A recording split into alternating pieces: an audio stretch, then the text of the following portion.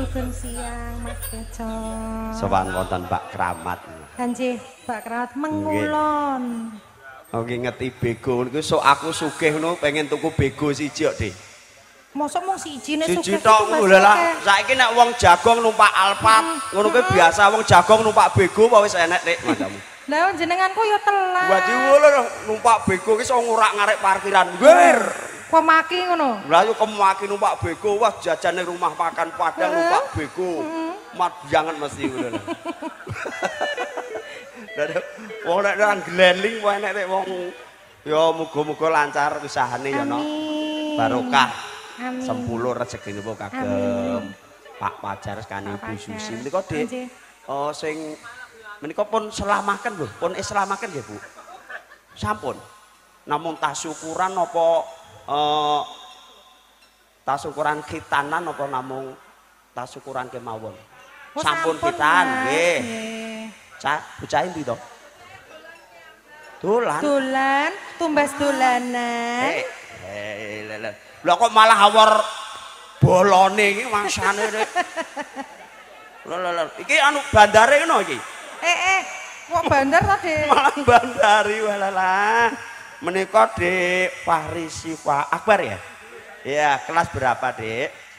Kelas 4. Well. Nanti kuwi apa? Mbok delikne kuwi. Tek muntruk. Kuwi oh, es, niku es. Rene ya, Dik. aku Kok ora ya di seneng-senengke kok Dik Siva. Besok kalau besar itu pengen jadi apa cita-citanya? Juragan. Juragan. Juragan, apa apa? sih? Ya Juragan sing genah cetha ke, lho. genah ke, Dik. Jurakan ki oke, jurakan sewa alat berat ya jurakan. Panti pijat ya jurakan. Dek, dek. Lanjutan kan lak ya juragan to. Aku Juragan jurakan. daleman. Eh? Dalemanmu ki. Lah lah lah.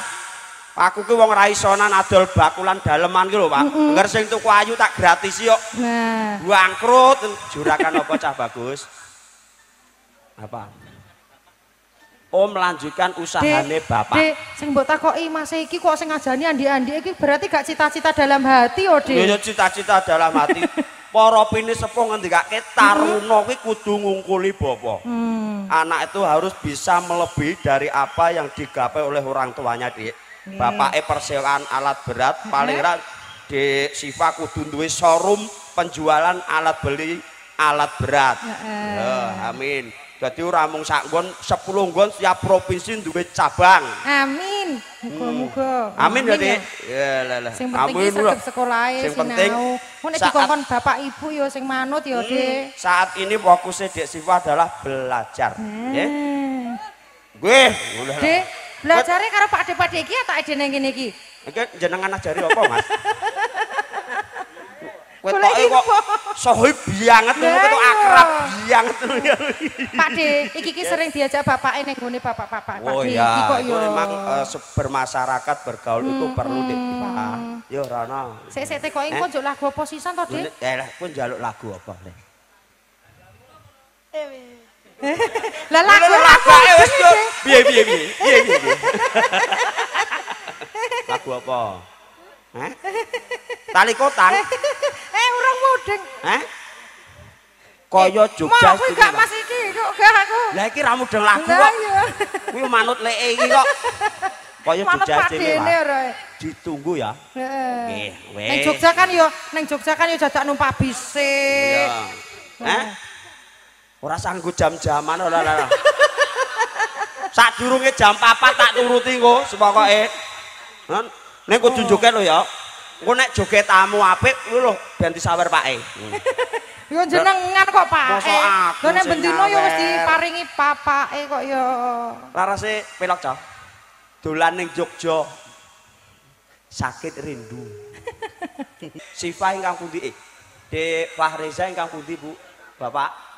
Adike. Waduh, lah aku rono kowe gak ngaleh barang aku ngaleh kowe rono to lele. tuas mau tak gawakne pira-pira nggo sangu. Pira-pira apa? Aku ya ora gablek apa-apa wis arep. Alah alah. Ora niku aku golek dhuwit tok ngoco tambel iki. Tak kira ki krogo ki ya nyangoni.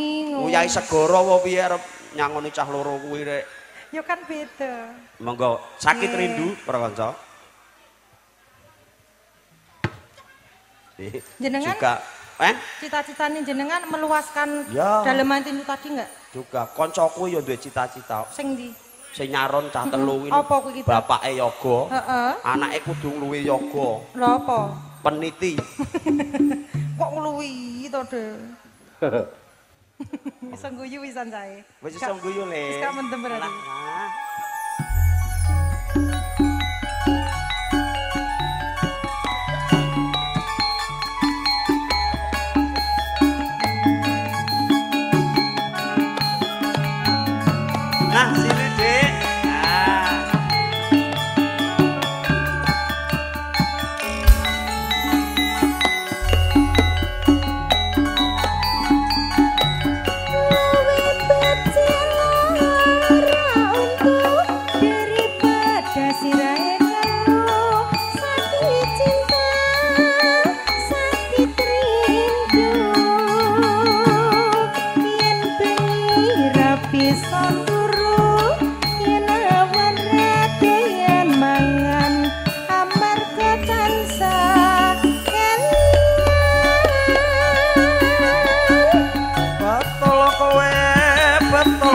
matamu cahayu jong guyang guyu ora liya mung sliramu